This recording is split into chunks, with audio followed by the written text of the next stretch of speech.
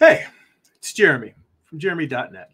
I am a comic book artist, writer, creator, self publisher, and I share my creative process here with you online. If you would like to get additional bonus live streams twice a month, you can become a Patreon subscriber at patreon.com slash gerimi. That's patreon.com slash G E R I M I. Uh, in addition to the bonus live streams, you get access to a Patreon exclusive Discord server and a digital archive where you can read my comic books. If you would like to get a free digital sketchbook, work in progress animated gifts delivered right to your inbox, blog posts about what I'm reading, what I'm watching, what's inspiring me creatively, you can sign up for my free monthly newsletter at newsletter.gerimi.net. And if you'd like to purchase physical copies of my comic books, or if you read digitally on Kindle, you can go to amazon.gerimi.net. That'll forward you to my Amazon author page. You hit on over there, pick up these books. And if you want to check them out before you buy, head over to the homepage of my YouTube channel. There are book flip throughs of all the books so you can check them out. And I see Byron is in the chat already. Hey, hey, Byron, how you doing? James is here. Omar is here. James is going to stick around for a bit. I know people always get busy on the weekend, so if you can't make it for the whole stream, I'm glad to have you for while you're here.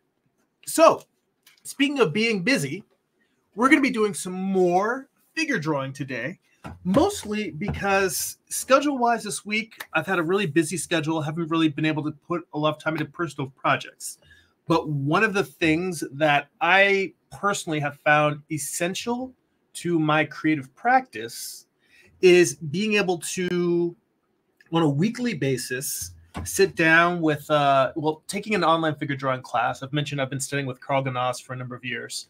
Um, but being able to not just do the the drawings from the model during class, but more importantly, the thing that has helped me grow the most as an artist over the years is being able to sit down with my work after class and just do an analysis. Sit down, look at the drawings I made, look at the ones that came out well, look at the ones that came out poorly, and just uh, just adjust make some some tweaks. L- look at where the volumes are wrong. Look at where the anatomy is off.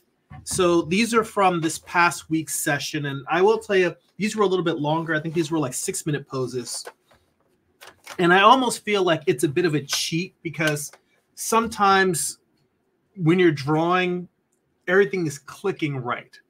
And I feel like I got a good batch of drawings this past week. I saw saw Omar gave gave me some some hearts, man. I appreciate it. I appreciate the love. Thank you. James also says, I think you uh, you can consider what drawings have the um, have the most life. Um, yeah, you know what? That's very very true. I keep putting notes to myself in my drawings, just writing the words "feel," because sometimes you may capture something, but it feels stiff and not particularly alive and energetic. And sometimes you draw something that it might have some very wonky anatomy, but it still has some some life and, and energy to it. So it's weird because on the weeks when things are going well, I don't give myself credit. But on the weeks when things are going badly, I'm like, oh well, this is because my lack of skill. So either I, I gotta decide: is it that I have a certain amount of skill, and when they're good, I should take some credit for that, or is it that it's all luck. And the days when I have uh when I have good drawings are good luck, and days when I'm drawing bad drawings are bad luck. Um, since I wouldn't be practicing if I did if I thought it was just luck, it must at some point be skill. So I suppose I have to take some credit for the days that they're coming out well. But I still need to I still tend to not beat myself up, but I focus on what I need to learn when it comes to the uh, the drawings, the days when it's when it's not coming out well. So one thing I'm going to start with, I guess, really, is this pose right here. Now, there's a nice amount of tone and shading on the character, a nice perspective, but I, you know, I put a little note in here for myself. Says between there's not enough. I need more space between the eyes and the base of the nose. So between here and here is just too crunched, too compressed. So what I tend to do is before coming in, I'm, my goal is not to just redraw this perfectly as is, but just with the corrections made. My goal is to actually really understand on a structural level what I did wrong. So I may, and not may, I frequently tend to redraw these things two or three times. And the first time, it's just simple, simple primitive shapes spheres and cones and cylinders, just trying to correct the major flaws that I see there. And that correction alone may take a few drawings to get. Hang on a sec. Even though the head is faced at that angle, I want to start by getting the brow line placed properly.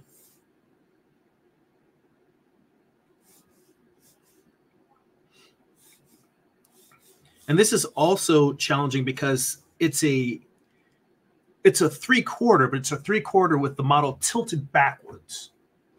So I've got that that double challenge of both getting the underside of the chin. Well, it's a triple challenge because I'm getting the underside of the the chin, getting the distance between the the nose and the brow, correcting the thing that's the actual correction, and getting the head turning away from us at three quarters. So there's a lot of difficulty in this particular pose for me to work on. And even this, I already feel like I'm squishing the base of the nose in again.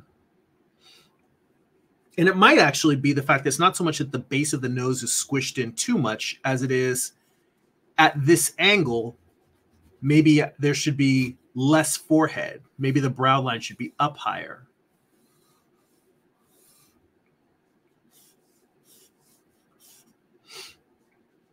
And this is what I mean when I mention that I will do multiple drawings. Because this drawing here, where I'm just trying raising the brow line, I don't know for sure if that's going to fix the problem. I may try another one with the brow line pretty close to where I had it before and just try to uh, maybe push the mouth down lower. It may take me a couple of tries of just drawing simple primitive shapes before I really figure out what it is that is or isn't working. And I'm just double checking because my screen is doing a, a, weird thing where in the streaming software, it's not showing me the camera. So if for some reason you guys can't see the camera and I'm just talking over a blank screen, let me know.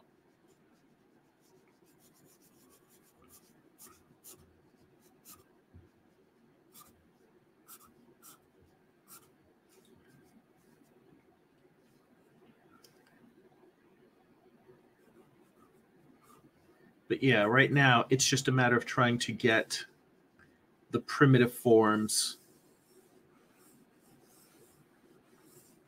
locked in in a proper position.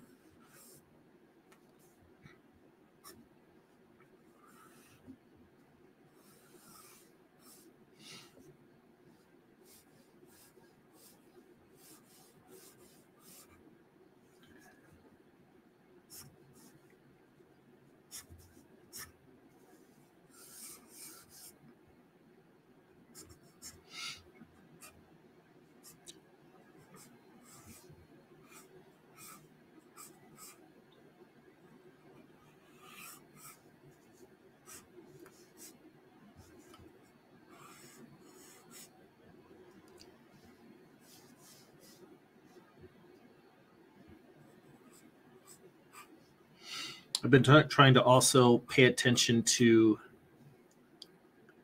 how the the skull basically comes together in that the part with the brow and brow line almost sort of form one half of a mask and then the part that comes underneath forms the, the cheeks and the cheekbone are kind of the other side of that.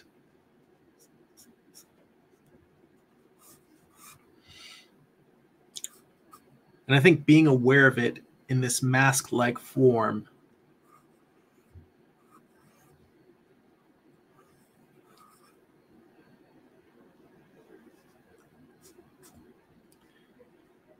it just helps me focus on what is the structure of the face.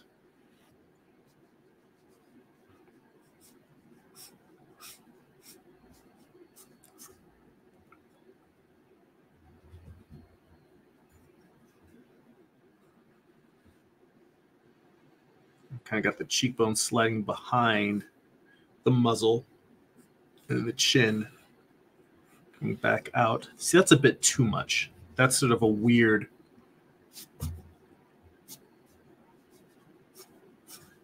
Cutting too much of the the face out. And I'm actually wondering, do I need to push the muzzle over a little bit more? I might have it too centered.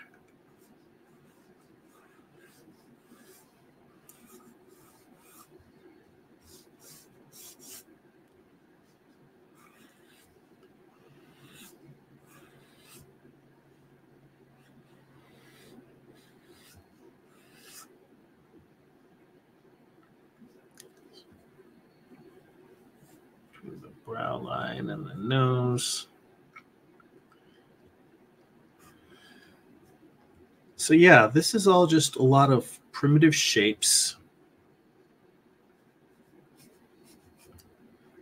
Very, very blocky. And if I were, you know, a lot of times drawing in class, I'm intentionally trying to not do this blockiness. or I'm trying to hide the blockiness in tones. So, like, I will try to make the shapes like this fit in with, say, the shadow on the underside of the muzzle. Or if I'm trying to define the side of the nose,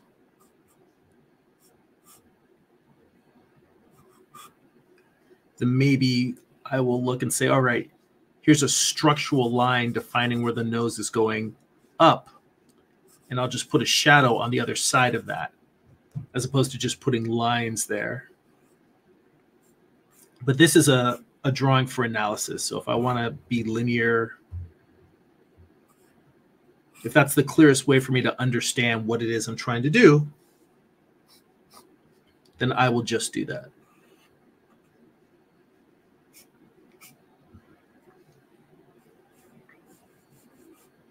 This eye feels like it needs to be pushed in a little bit further, a little bit closer to the nose.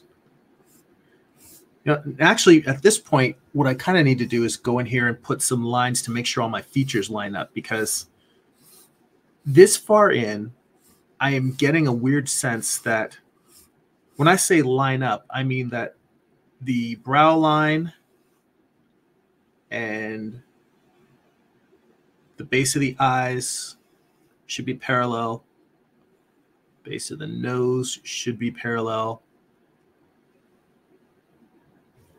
See right here, this line is a little bit off, even though I'm intentionally trying to make parallel lines right now. I'm getting a little bit wonky there.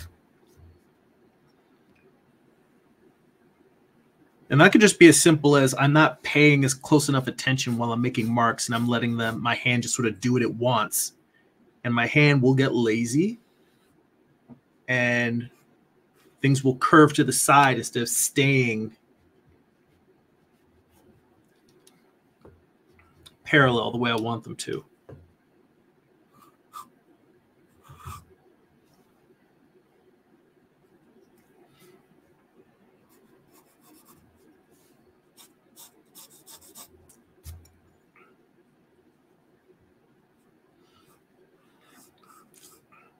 So, do you guys spend time doing study just for the sake of study, just for uh, trying to improve your your skills?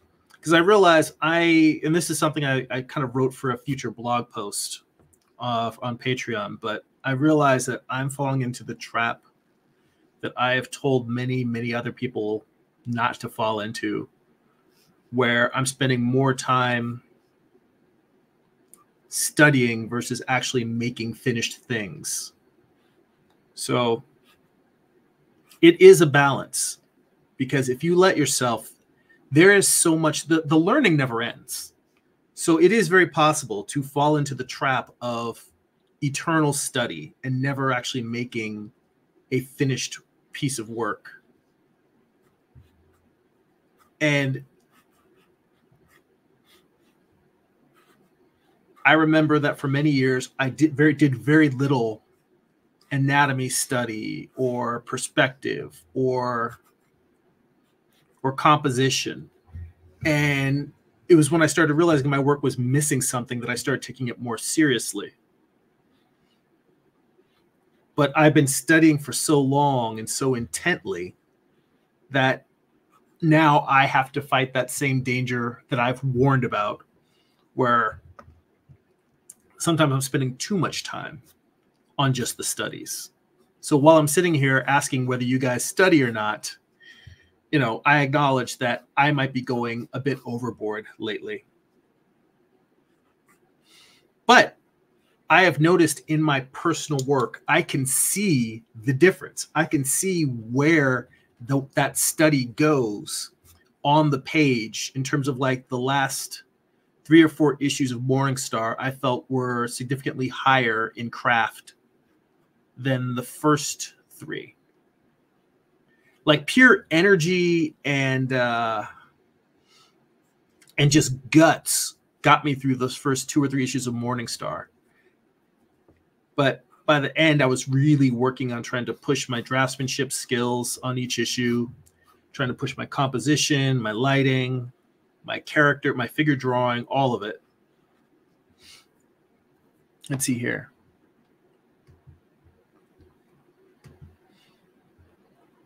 And James says, I haven't done studies in a while. Um, you know, well, I I will tell you that's one of the reasons why I like the uh, the, the figure drawing classes is because it's kind of like I get in two study sessions a week. Study session one is the actual time in front of the model, and study session two is what I'm doing now, where I'm going in and doing analysis. And I will tell you that probably for the first probably the first eight years of taking figure drawing classes, not five years, eight years. For the first eight years, I did not do what I'm doing now. I just went to class, did my drawings, and came home. Rarely looked at them other than when I was in class. And only after about eight years of study and hearing multiple times that I should be looking at my work from class did I go back and start looking at my drawings and just asking the question, what's wrong? That's all. Just looking at the drawing and looking at it with that sense of, and this is why I always tell you that your mistakes are your your biggest learning tool. Um, just looking at the drawing and saying, all right, what is it that I'm trying to get it to do that it's not doing? Is it an anatomical problem? Is it a lighting problem? Is it a volume problem? Um, just breaking it down into those simple categories and saying, what's wrong with this drawing? And then trying to fix it by redrawing it a few times. Let's see here. CJ King is in the chat. Good to see you, man. He says, "Good day, brother and people. Looks good, and uh, see you're well. Yeah, yeah, doing well. Um, chugging along here. In fact, I'm at a bit of a transitional point because I'm trying to decide if I want to finish those that space station storyboard series I was doing, or get back to uh, my comic. And to be honest, the logic, first off, it, it's more that I hate leaving projects unfinished. That's the drive to, to finish the uh, the space station story. But secondly, I still have rewrites to do on the new comic. The outline, I'm really going back and, and trying to flesh out the uh, the character, not motivations, but the relationships between the characters, how they interact, how and why, how the relationships change, and then revise the plot around those emotional changes. Now, see, right here, I can tell you that I'm seeing something interesting in this drawing when I'm talking about how I will redraw something multiple times. So this drawing feels structurally more solid than the source drawing. But what it is missing is the tip. And this goes back to something that James said earlier about um, about which drawing has more life. Like this drawing might be structurally correct and in perspective, but this drawing has attitude. This drawing actually feels like he's sticking his chin up, pointing it out at you, like, "Hey, what's up?" You know, and it's almost like it's the subtle difference between okay you're looking at this drawing and you look at it from an underside three quarter versus the attitude of that just the the, the kind of like the the poking out of the chin like there's acting there's performance in this drawing in this lower drawing and I gotta tell you, being able to put the skull right here next to it is kind of really good for illustrating the idea and the difference. And the difference is not just the angle, it's the fact that that slight extra amount of foreshortening so that more of the underside of the like the lip the the muzzle the way that that sits there the space between it is not necessarily that it's closer but it's rising above it. It's like there's there's a foreshortening in this drawing where you're actively seeing chin with muzzle behind it with nose still on the muzzle but kind of on the backside of it. So it's behind that. There is more foreshortening happening. And then cheekbone behind that. There's more foreshortening in the original drawing than I got here. I kind of flattened it out. It's almost as if instead of changing the angle, I switched lenses. So I went from a wide angle lens to a telephoto lens and just looking at it zoomed in as opposed to looking at it with a wide angle lens where you get distortion. So I'm going to keep working on this drawing. I'm not going to bail on it. But what I am going to do is when I get done with this, I'm going to come back and try another where I'm really trying to push the foreshortening on this. And usually what happens when I do these drawings is I go like I do the first one and I go a little bit too much in, oh, it's structural, but it's plain. And I go the other way where now there's foreshortening, but it's a little bit cartoony. There's a little bit of back and forth to try and get to the right place.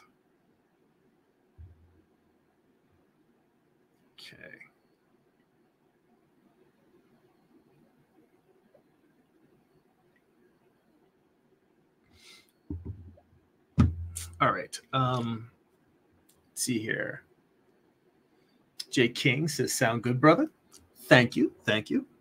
Um,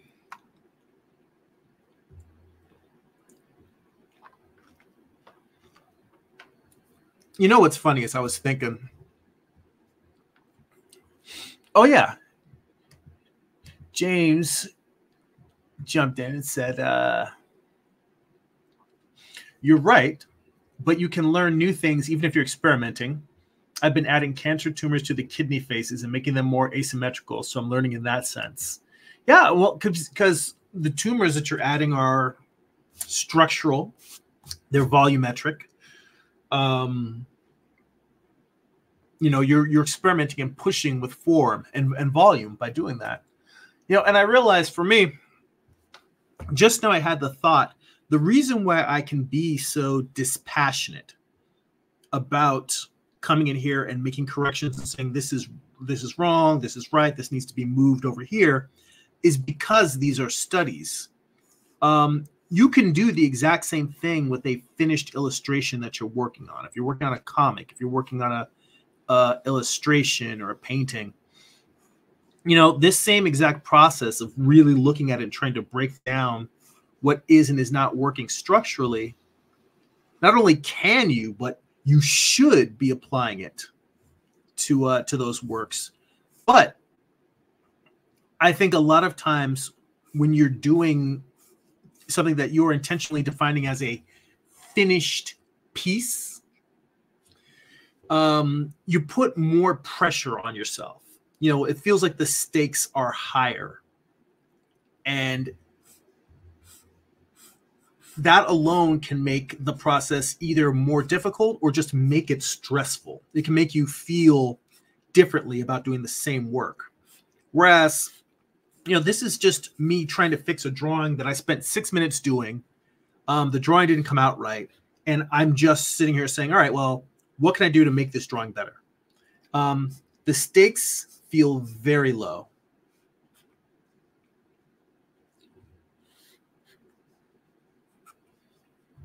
And I think that is a big difference.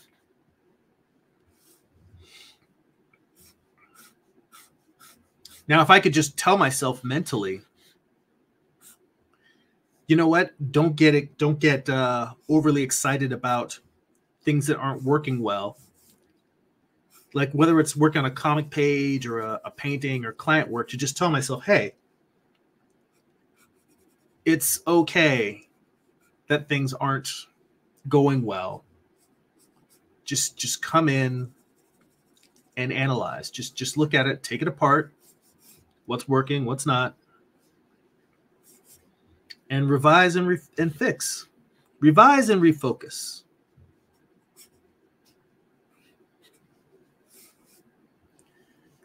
In fact i'm putting that down. That's to be the name for this video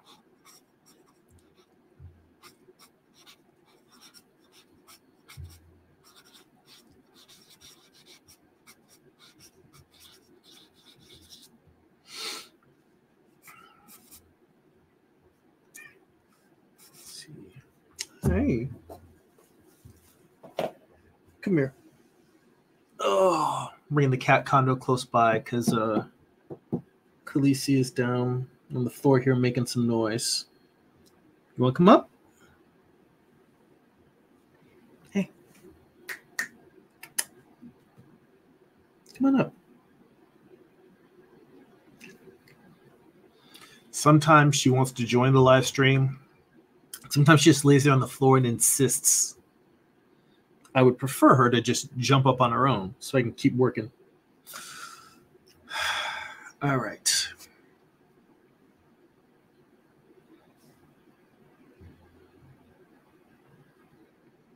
Yeah, see, I have totally removed the foreshortening around the nose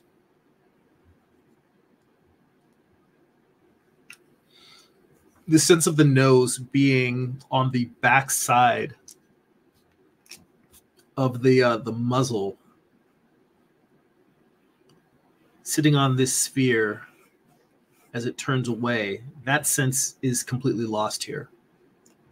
Maybe it's because i need to put a shadow in on this side.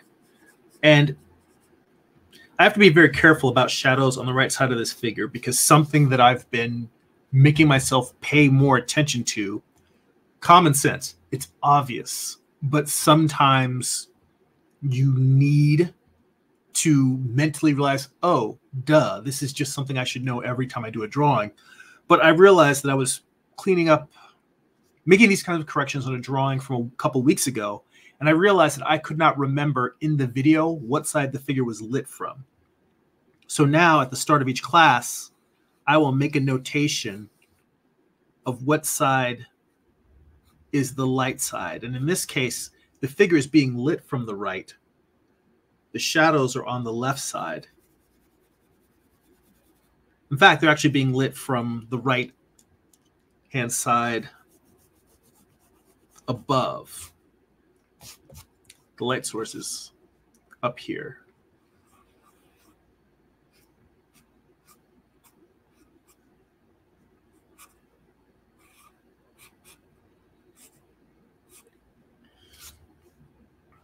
So that makes me want to be very, very cautious and very delicate with any light, with any shadow that's on the right hand side. Because I only want to put enough tone in there to indicate a plane change, not enough to make it really dark.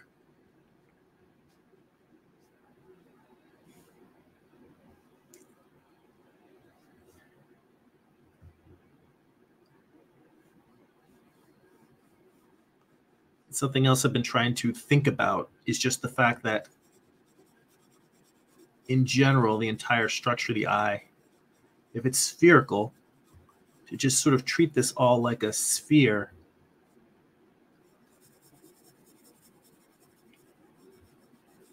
The whole eye socket.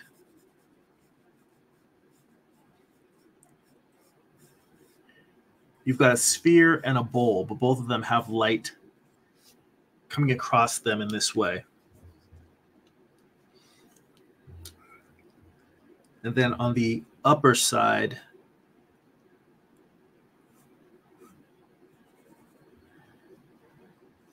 because this is con concave, put a little bit more tone on that inside above the actual eyelid.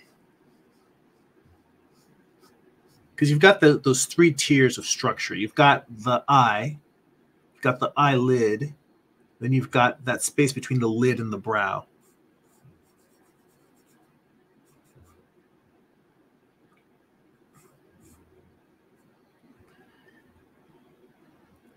Then his eyes kind of uh, what's the word I'm looking for? Laconic.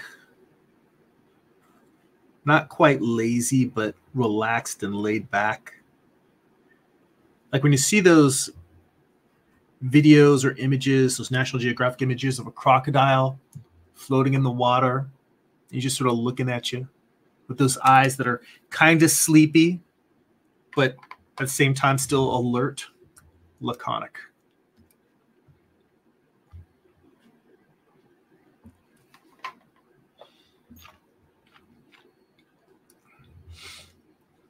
And the cheek and the uh, the left brow are out too far. So I'm going to draw in what I think they should be.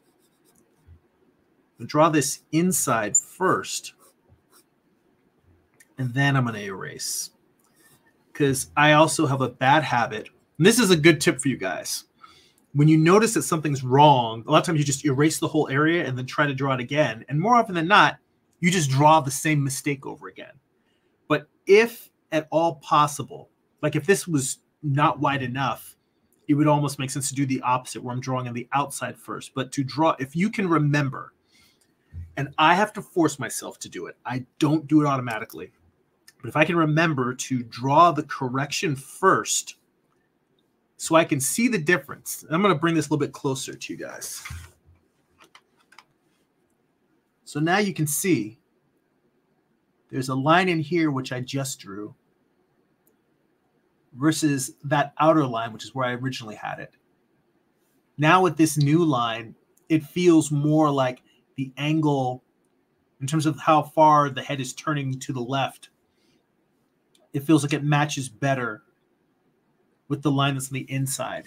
And now that I've done that, I'll come in here I usually use this guy, but it's a small line. I don't want to screw up too much for what's around it. So I'm going to use it. I've got an E. This like this is one of those simple stick erasers that you usually just buy at whatever uh, office supply store. You know, um, you don't have to go anywhere special to get these. But this one, it's a a Tombow Mono Zero, so it's like the thin line eraser. And my electric eraser, I really only save that for when I'm working on uh, pen and ink, working on traditional comics and stuff. I do have an electric eraser, but I don't use it for charcoal drawings. But now I'm going to come in here, get rid of that outer line.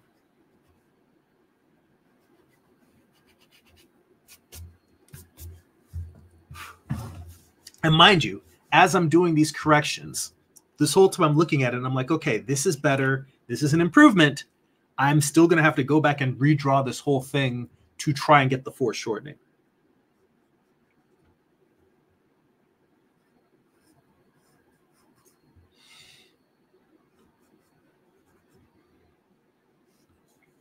And to be honest, considering how much time I've spent here, almost 40 minutes, I don't know how far I will get on that next attempt, particularly because the next attempt is going to be harder than this one. This one was me just trying to fix anatomy. get the volumes, the fix that spacing problem that I had the first time. And now that I really understand what I was doing wrong in terms of this, the nose and the eye being too close together, it's not necessarily that they are too close together. It's that I haven't properly established the foreshortening between the two of them. So in this, I've straightened it out. So I've fixed the foreshortening problem, but I've lost, well, I've fixed the spacing problem, but not the foreshortening problem. They're two different problems. Um, I have gotten rid of the spacing problem. And by getting rid of it, I've hidden the foreshortening problem. But I know it's really there. And for me, it is important to anytime I try to fix a drawing and I realize, oh, I've just eliminated the problem. Eliminating a problem from a drawing is an approach. If you are in a time crunch and you just need to get it done, or if the purpose that you're drawing, doing the drawing, whether it's for whether it's for you or for a client, if the purpose that you're doing the drawing doesn't need, like for instance, in this case, it's a foreshortening problem. If if that foreshortening problem is not important to the end result, then screw it, shine it, move on, just you know, cut it and move on. But in the context of wanting to learn to be a better artist, I want to be able to draw whatever I imagine or envision or or observe. If I observe a certain phenomena, I want it to be a choice that I'm not going to draw that. I'm not I'm going to lessen the foreshortening. I don't want it to be something that I do because I don't have the ability. And that is the reason why I would go through so much so much extra lenses to draw this entire thing a third time just trying to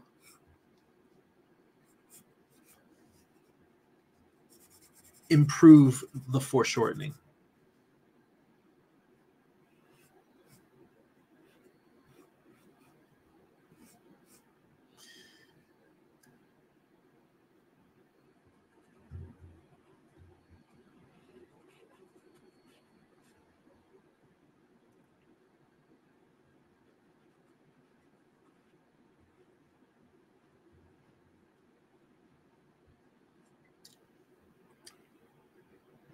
His eyes feel a little big the way I drew them there. And I also went a little bit darker with the shadows than they probably need to be. All right, so I learned some stuff from this drawing. I'm going to start taking another stab at this now with more foreshortening. And this, I will admit to you, this is the tedious part of trying to get better as an artist. Um, I think most people wouldn't want to just draw the same pose multiple times.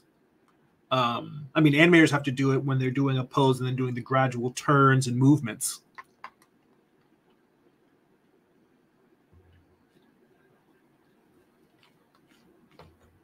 And if you're drawing a Batman comic, you better get real comfortable with drawing Batman all the time. But just for the sake of anatomical study, to sit there and just do a drawing and just redo it with tiny variations. I mean, I don't I don't find it tedious because I almost look at it kind of like gamifying the process.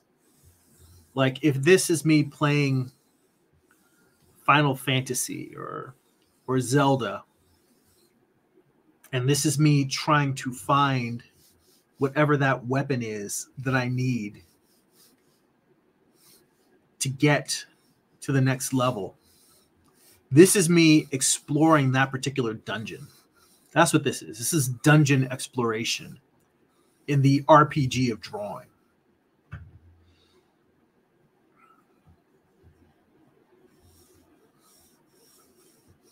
So now, even at the block end, I'm trying to be very conscious of foreshortening.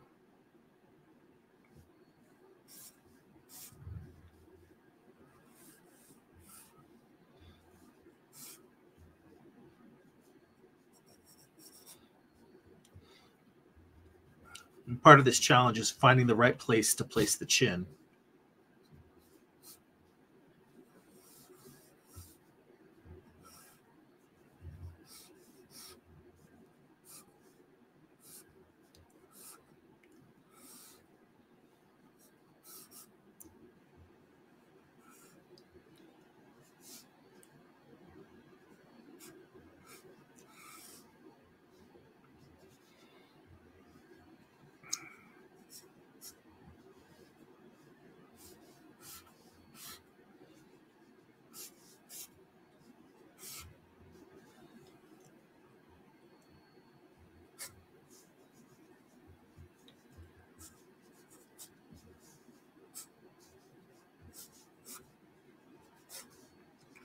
Trying to get the neck placed in here before I get too far.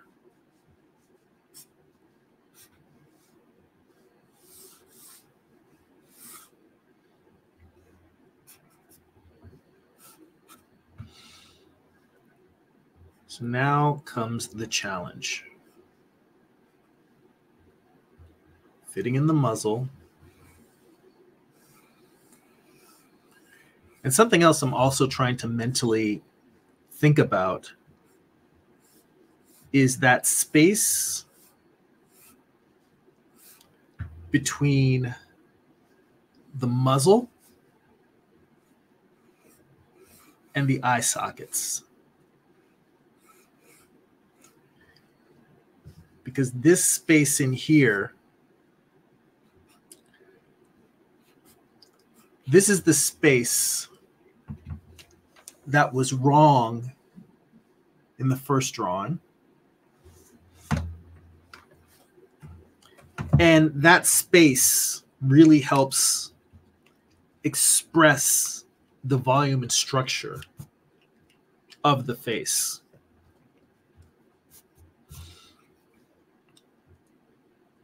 And I think what I did wrong in that original drawing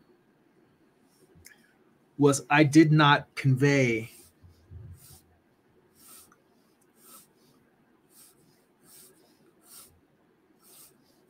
overlapping forms.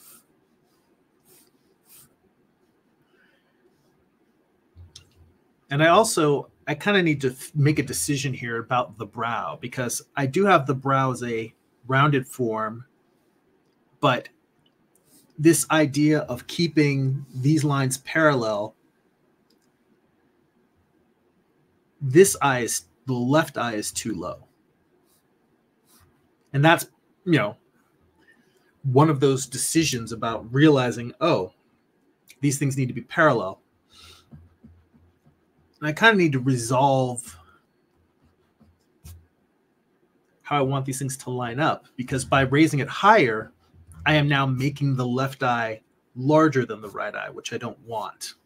I want the eye that's closest to the viewer to be larger.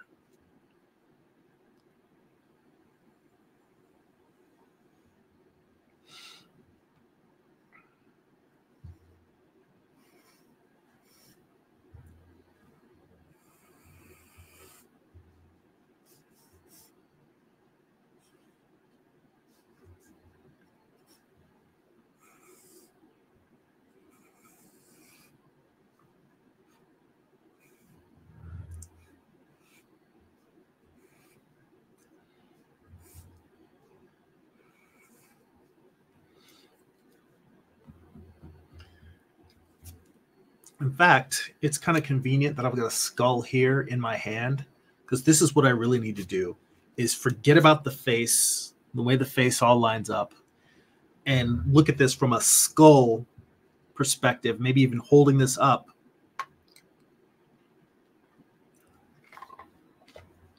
In fact, let's stop worrying about the face and just worry about the foreshortening of the skull. Because I think that will help me more than uh, than fixating on the model himself.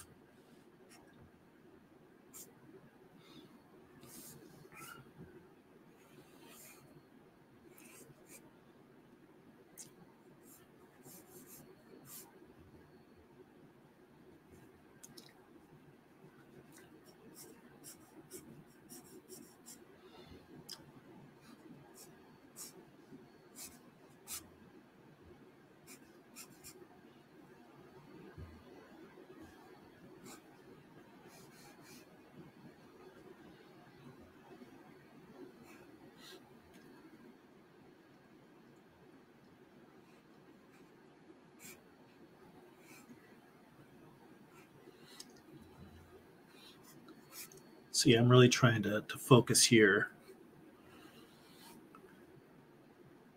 on these forms, one in front of the other.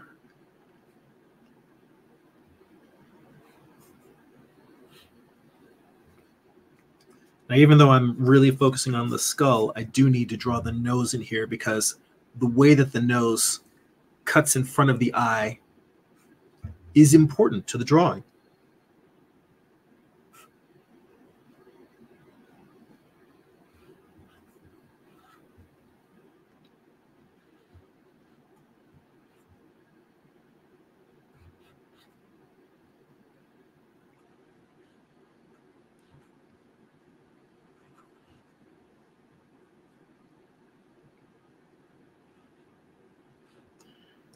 And I need to make that left nostril much smaller because it's not necessarily that he has large nostrils, but the one on the right is facing sort of turned. It's you know the nostrils are angled. Everyone's nostrils are angled differently depending on the shape of their nose. In this case, at this angle, we're looking at the widest shot of the nostrils. They're pointed out towards us more more than I have in that drawing. In that sense, that's a place where I definitely failed.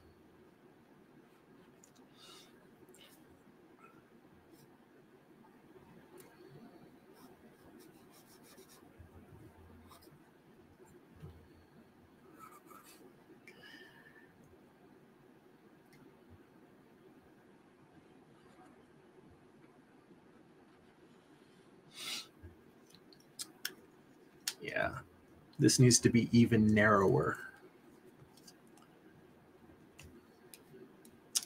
It's hard to get these subtleties.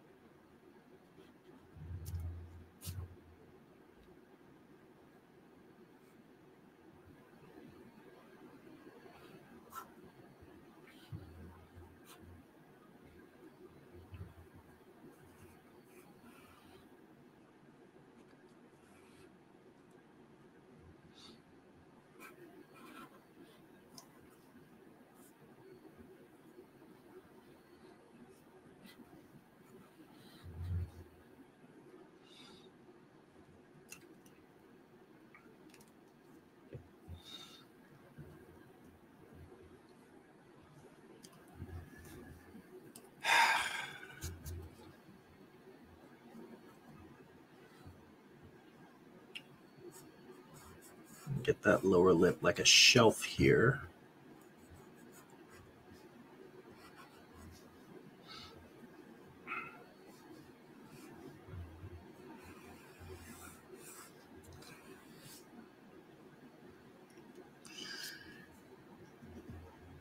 I almost feel like I'm not conveying.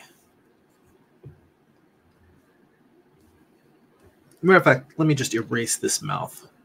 Because what I want this section right here, what I want this muzzle to feel like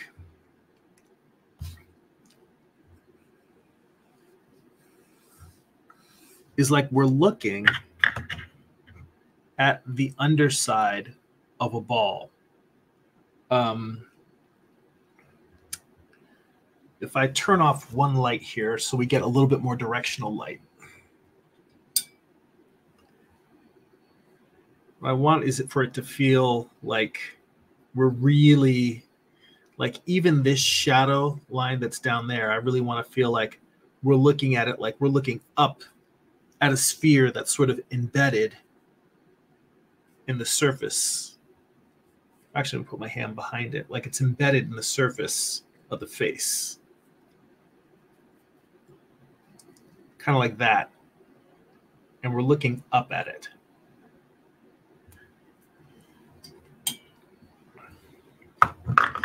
And right now, it doesn't quite feel that way. And I think something else that will help is if I get rid of a little bit of the bottom of that, the bottom of the, the muzzle, and let the chin cover some of that.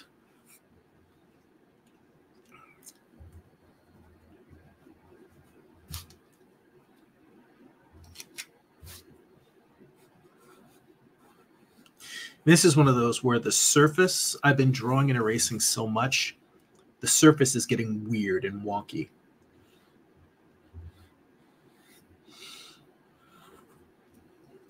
That is one of the downsides of working on a on newsprint.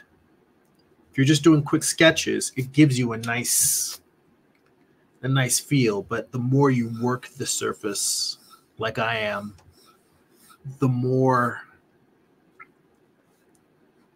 the less integrity the surface has. It starts to kind of collapse. The fiber stops holding up to uh, to drawing and erasing on it. And it starts to become more like you're drawing on mud or sand.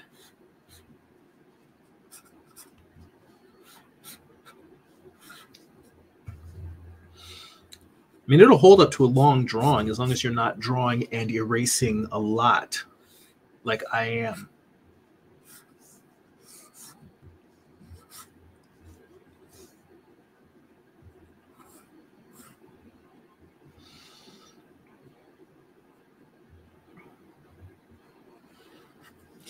See, I think that, and the real challenge is figuring out how to convey this with tone instead of uh, instead of line.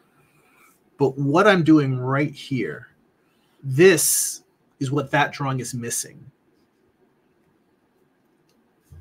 Denture sphere sitting in front of the cheekbone, chin sitting in front of the, the, the muzzle there.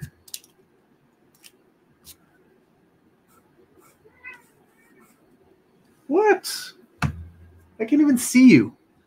Khaleesi's back there yowling.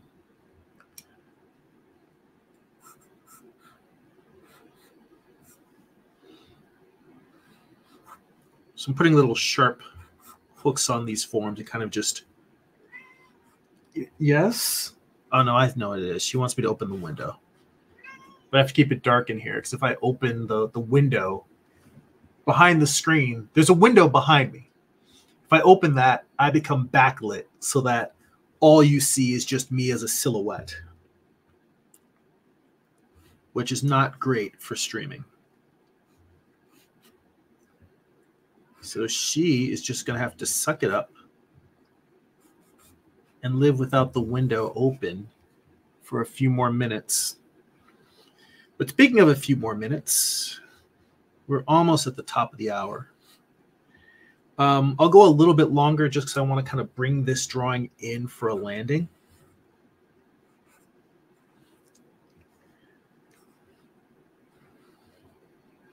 I'm really moving away from the model here and trying to move into just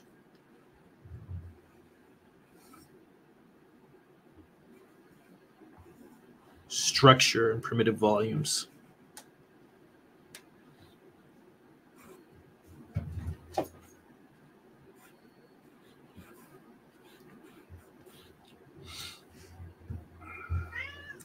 And even this, as I've drawn it here, I feel like I still haven't gotten as much foreshortening out of this as I should.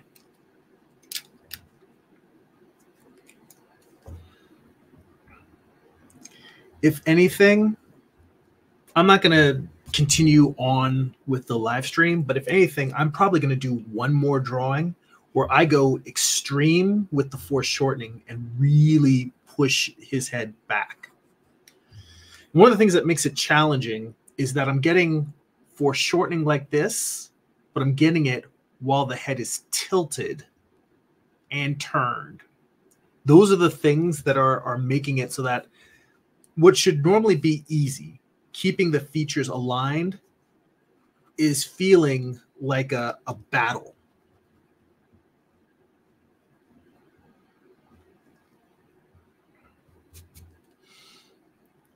And to be honest, it shouldn't be a battle. I should be able to draw well enough that it's just like, oh, that's what the face is doing. Here's where the volumes are. Um, that's the point of the practice. The point of the practice is to solve this problem, busting my ass to get it so that in future drawings, I can sit down and it's like I really just have to practice drawing at difficult foreshortened angles. And then once I've done it enough times, it ceases to be a problem, or at least it's a problem that I can work through faster versus uh, the amount of time that it took me here.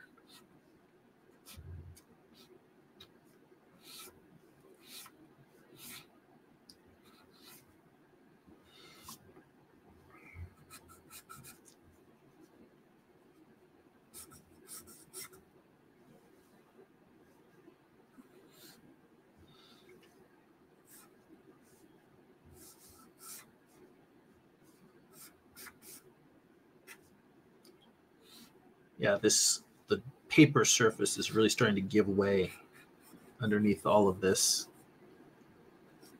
drawing and erasing.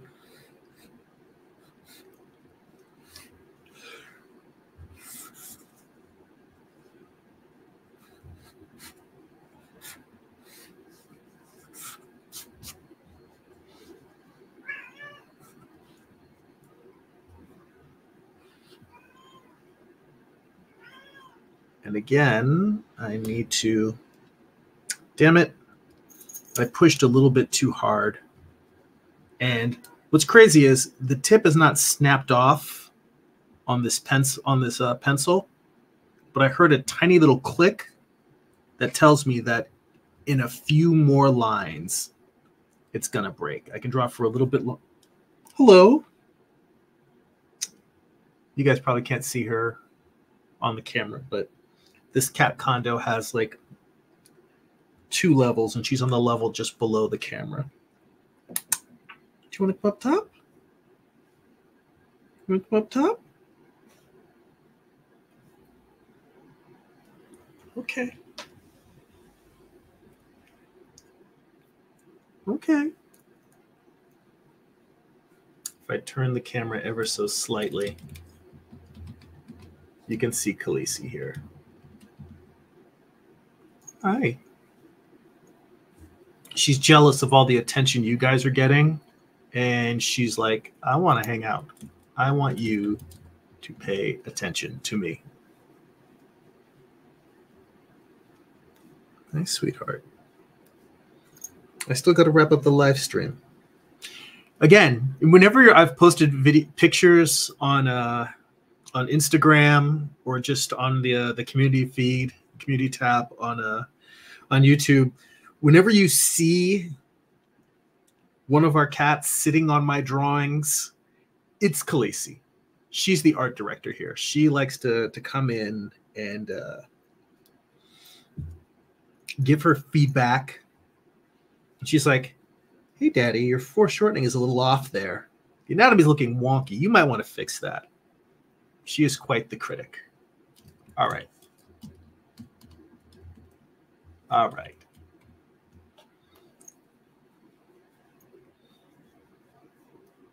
All right.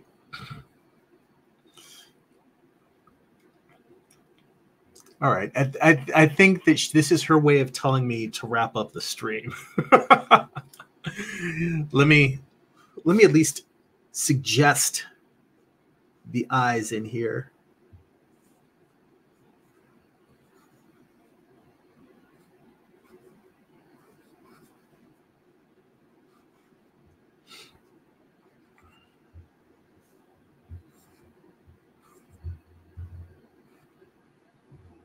Maybe bring that uh that brow is probably a little bit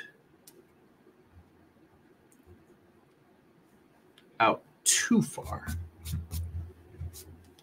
See, the, the foreshortening is starting to come together here now. And part of that is giving that sense of the volume of the skull, but giving it much lower than we're seeing it. Getting that volume down here instead of up above.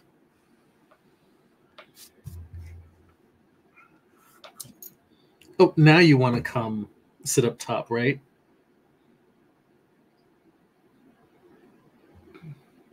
This one.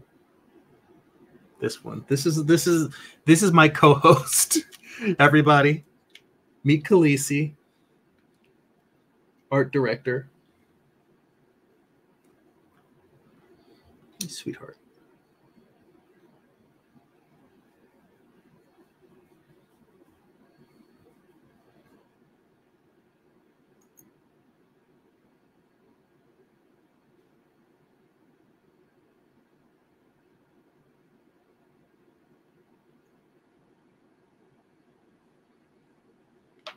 There we go. She has settled down. Um, so, you know, like I was saying before, there is slightly more foreshortening in this one than there is in that one. Um, and that's the crazy thing about this. A lot of times it's just adjusting the angles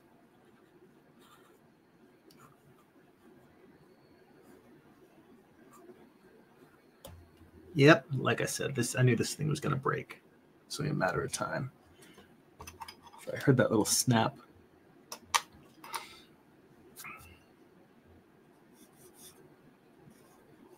It's a reminder to not push so hard, both in drawing and in life.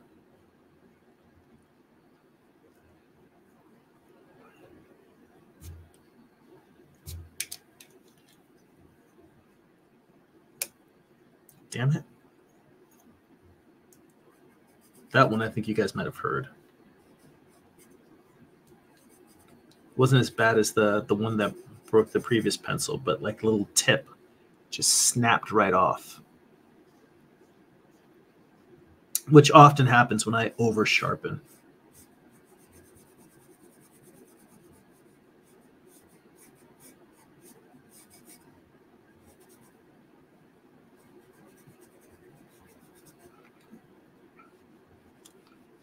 So there's a divot in here, but I'm also there's also a a little I don't know, a Van Dyke little soul patch.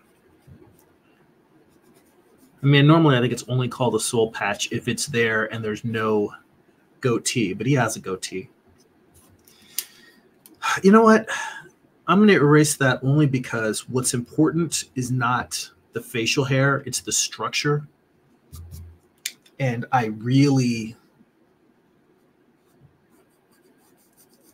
to be honest, getting the structure correct is far more important to me than redrawing this so that I correct the facial flaws. And I am straightening the mouth out in a bad way. This mouth, the same way that I was fighting to keep the eyebrows at an angle and the cheeks at an angle, I'm straightening the mouth out so it's more at a surface. The mouth, I'm drawing it more at this angle as opposed to that angle. I need to fix that.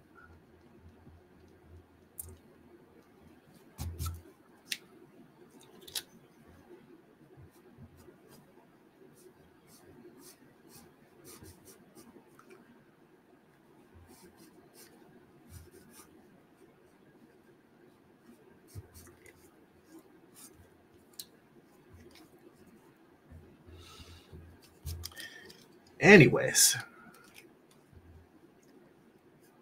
getting the chin in front of the muzzle helps sell that foreshortening. And I'm just putting some tone in here, not for the goatee, but just to kind of give you the sense of change in plane. It's turning away from the light now.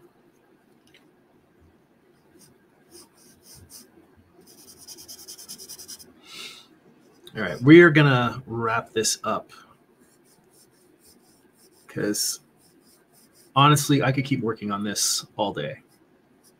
I'm not going to work on it all day, but like I said, I'm actually going to do one more drawing where I come in and try to really push that foreshortening.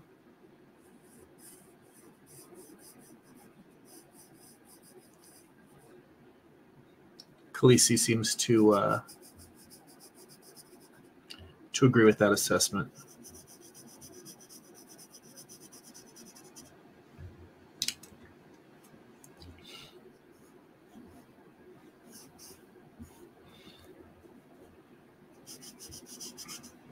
But I will tell you, like I said, all of this study, this may has made a difference in my comic book work.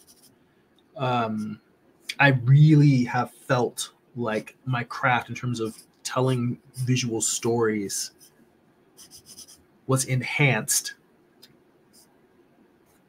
by studying and working to improve my anatomy, my sense of volumes, my sense of structure.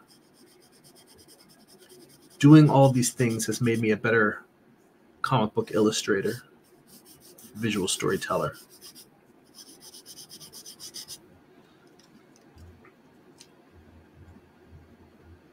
I'm getting a little carried away with the tones here. It doesn't need all this.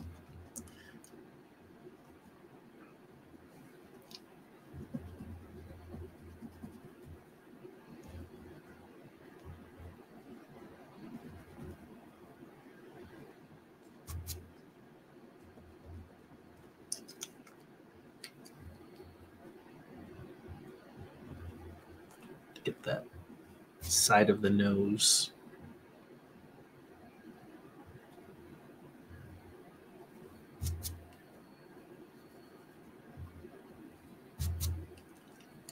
Let's see here. Jay King says, "Thank you for your time, brother. I appreciate it. You know, I mean, thank you guys for for hanging out with me. Um, you know, like I always say, this having someone to share this time with and share sort of the, the studies and the challenges, it helps me. If it does anything for you guys, then I'm grateful for that, for having someone to share it with. But for me, it's sort of like, you know, the work that we do as artists, both in terms of making the work, but just studying the craft of art, it can feel like a lone trek screaming into the void. Um, you're just out here in the, the darkness of the cosmos looking for answers. And the idea of knowing that other people are doing the same or are interested at least in the answers that you're bringing back in your own personal exploration, in my personal exploration, um, I value it. I cherish it. It really does mean a lot to me. So thank you. I'm just breaking shit left and right. All right. Definitely time to wrap it up. Let me go back to the big kahuna here. All right. This one is settled down. All right. I guess she doesn't want to sign off. She's like, you handle you, you handle the busy work. Okay. All right, gang.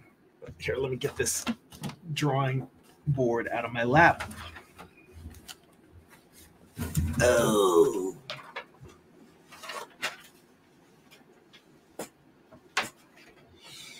And on that note,